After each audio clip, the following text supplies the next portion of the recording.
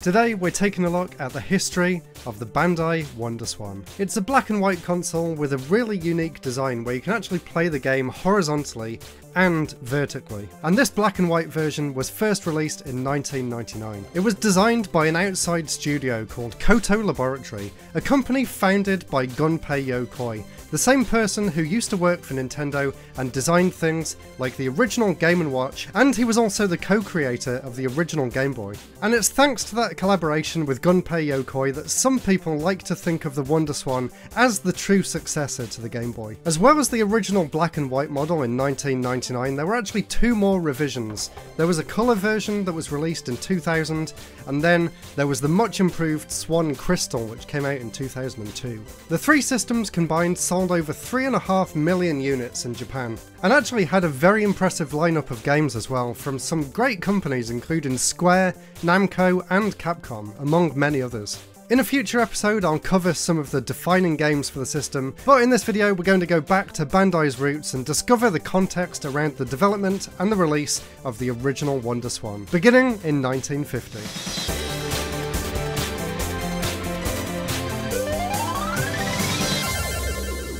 Bandai's story begins in 1950. It was originally founded by Naoharu Yamashina, selling licensed toys and model kits. Throughout the 50s and 60s, Bandai released many toys and models, and their first big break came with the Astro Boy license. And later they found a lot of success with their Gundam model kits, Power Rangers toys, and much more, all of which are still proven to be very profitable to this day. But we're here to discuss video games though, so let's skip forward a few years to 1977 and their first foray into the digital world. In 1977, Bandai released something called the TV Jack 1000. It was a first generation game console, which basically means it was nothing more than a basic Pong clone. They created several follow-ups to this, but the most interesting one was something called the Bandai Supervision 8000 in 1979, which was actually the first console in Japan to actually support multiple interchangeable cartridges. During these early years, they also released a few personal computers as well, such as this model here, the Bandai RX78 microcomputer in 1983.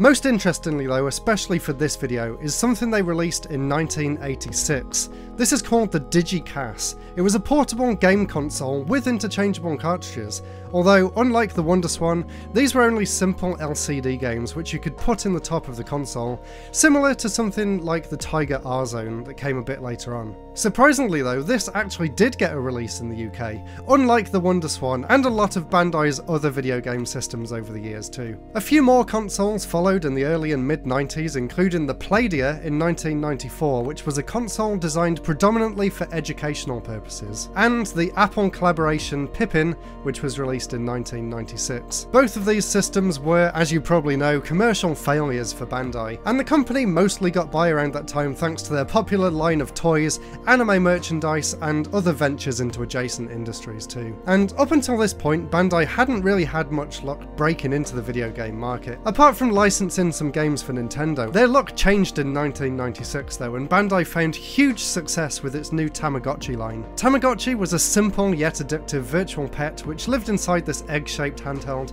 with a small LCD screen. I'm sure everyone that grew up in the 90s had one, I sure did. Oh sorry, I was just feeding my Tamagotchi. The story of the Wonder Swan actually also begins in 1996, when Gunpei Yokoi, the designer of the Game & Watch and Game Boy, left Nintendo to start his own company called Koto Laboratory in September that year. Contrary to popular belief though, Gunpei didn't actually leave Nintendo because of the failed Virtual Boy, which he also helped develop.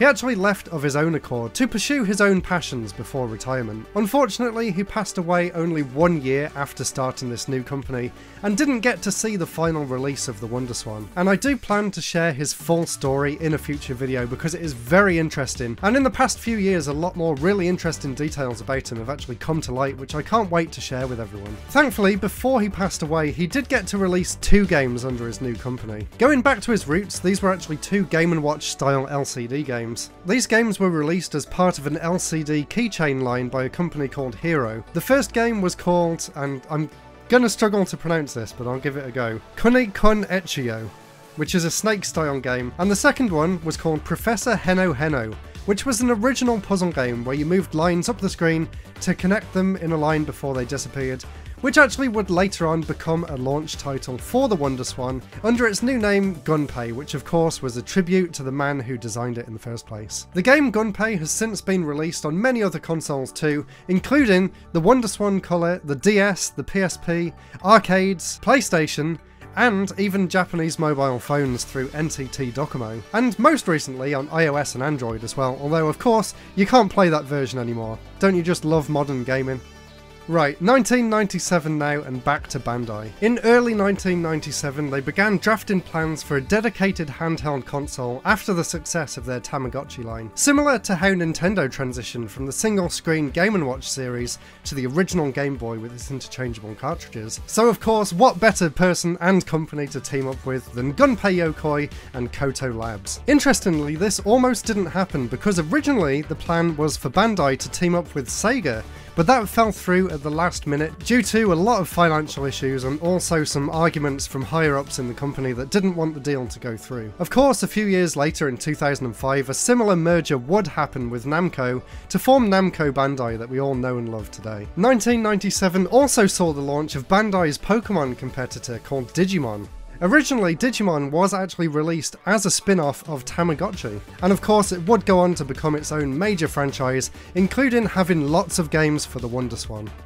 So in 1998, development was well underway on the WonderSwan. They decided to go with an NEC CPU, and although they decided to only go with a black and white screen on this first revision, it could actually show twice as many shades as the original Game Boy as well, plus the resolution of the screen was much higher too.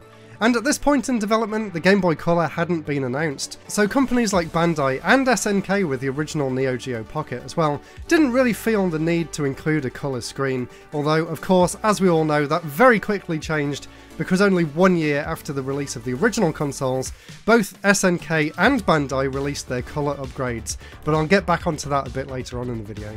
Around this time too, Pokemon had just begun to take off worldwide, and sales of the Game Boy were stronger than ever. So unfortunately, due to things completely outside of Bandai's control, they were already facing an uphill battle before the WonderSwan had even managed to get released. The Wonder Swan was finally revealed to press at a special event the day before Tokyo Game Show on the 8th of October 1998. Thanks to some help on Twitter, I managed to track down some of the press releases from this time. There was a Japanese website called NLab that had a really detailed news story from the event, including a full rundown of the press release by Takashi Mogi, who was the president of Bandai at the time. There's some interesting tidbits in here, so let's have a quick look through it. Apparently, Bandai's target demographic was 15 to 19 year olds, so a slightly older audience than Nintendo's Game Boy, despite the toy like appearance of the console.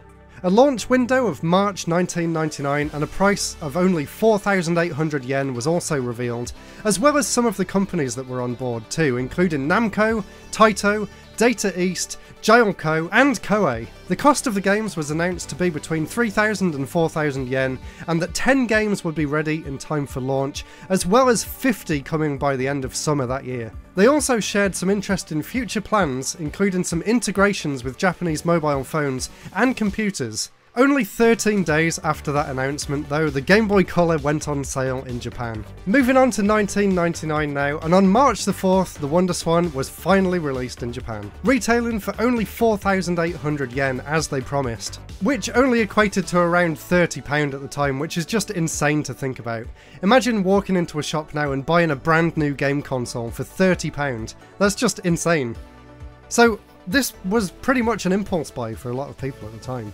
And that is incredibly cheap even for back then, because the Game Boy Color had released at 8,900 yen, which was around £80. Despite its power, good set of launch titles, and extremely cheap price, it just couldn't hold its own against Nintendo, despite Bandai releasing several upgrades and many impressive games in the following years.